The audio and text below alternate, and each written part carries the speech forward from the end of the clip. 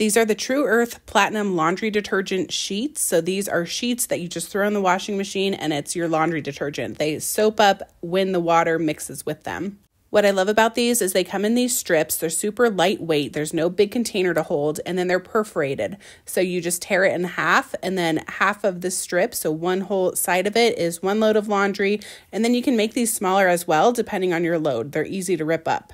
We like the ingredients in these and that the scent is not overpowering in any way. We also really like that it's small, compact. You don't need a huge jug. Like I said, you don't have to lift anything. And we're also happy with how clean our clothes look and feel with using these.